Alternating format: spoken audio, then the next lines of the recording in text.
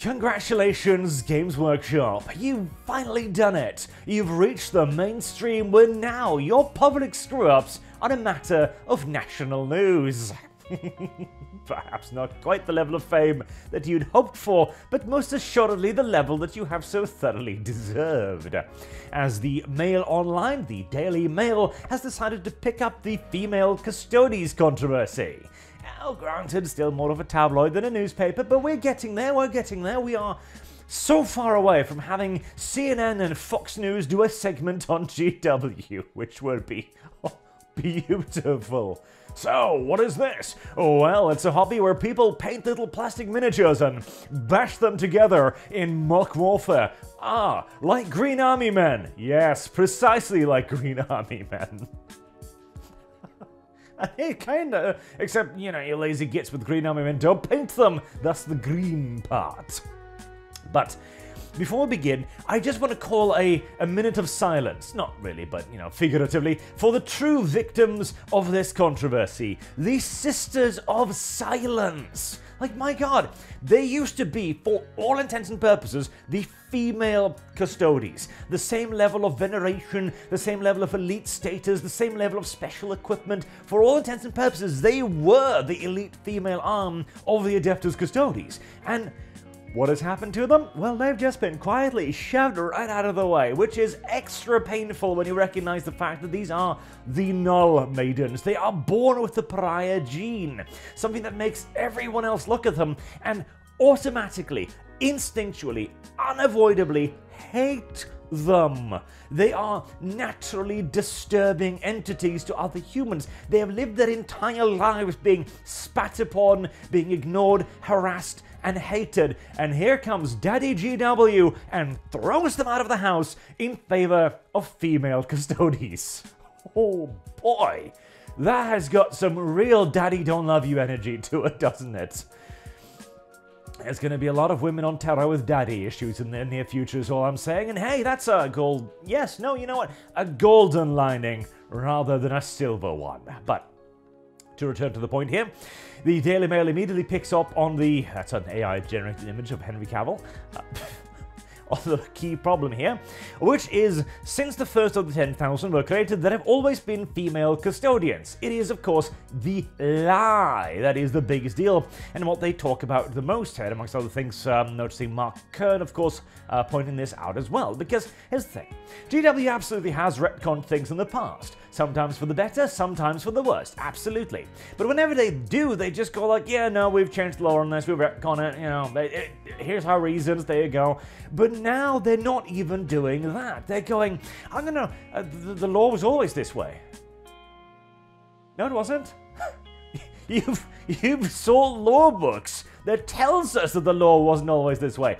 You told us this wasn't the lore, and here you are staring us dead in the eye going, I don't I don't remember any of that. Why would you lie about that? But we know we are they lie. We, I've talked about it now for the last couple of days, and in yesterday's big Everything is Political video, I laid it all out. It's because this is a political thing right here. See, GW has always been the bad guys in the modern day cultural context. They are the racist, white supremacist, evil company that creates a board game for men. Those most vile and disgusting of creatures who cannot have any recreation or escapism whatsoever, lest they, I don't know, have fun or something weird like that.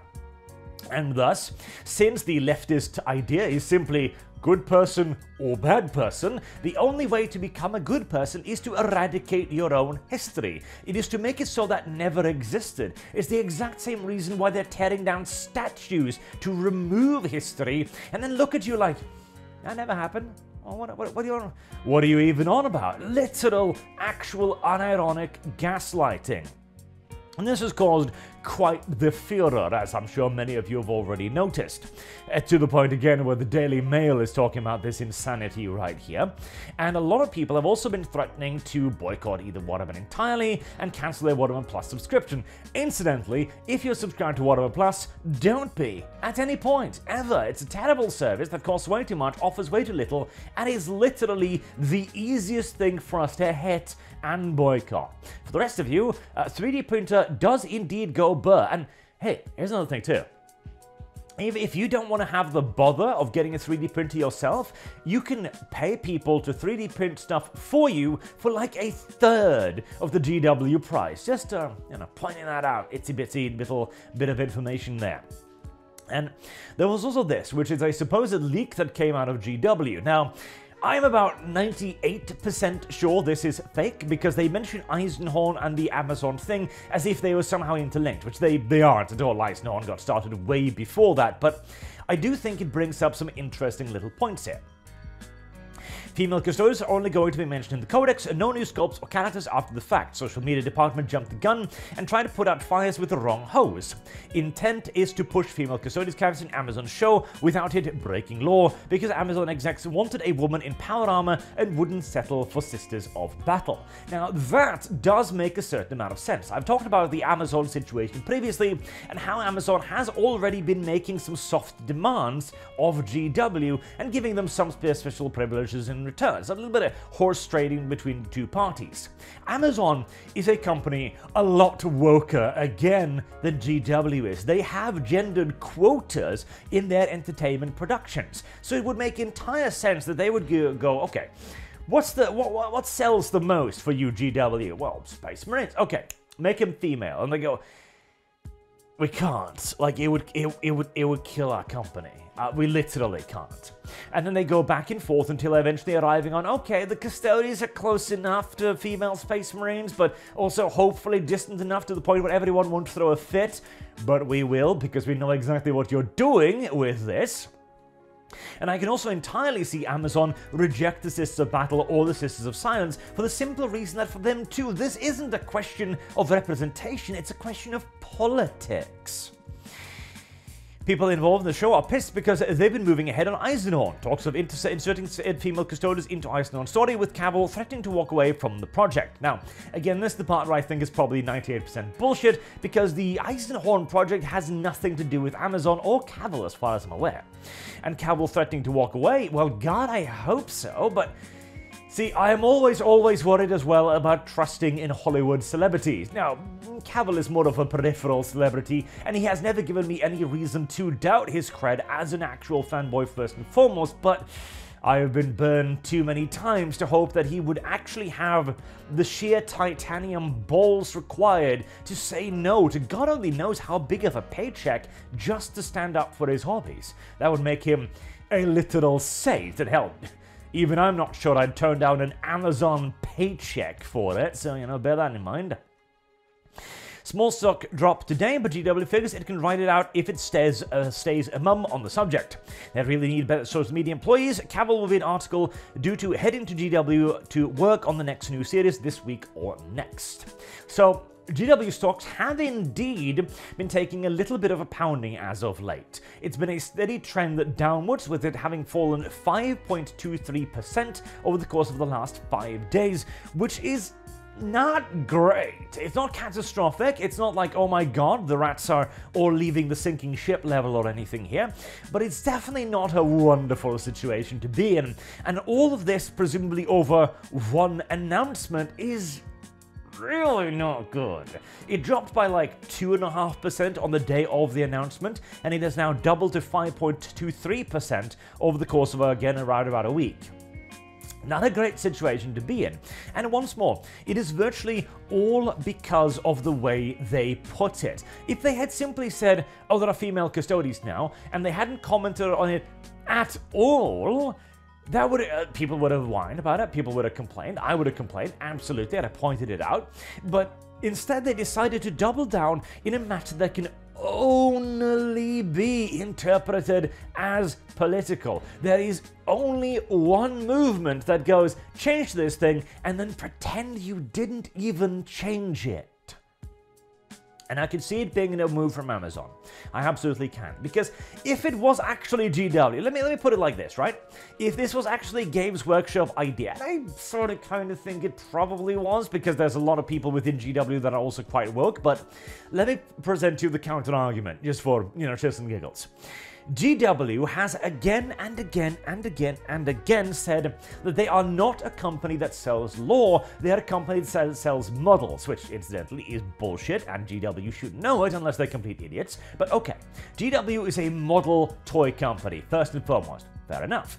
But in that case, why aren't you shouting this from the rooftops? You are making an enormous change to one of your most popular and most overpowered model lines. Where are the new models? Where are the new hero models? Where are the new sculpts? Where are the new? Shouldn't this be articles? Shouldn't there be teasers? Shouldn't he be putting out little teaser pictures of like, oh my god, what's this? A female custodian's head?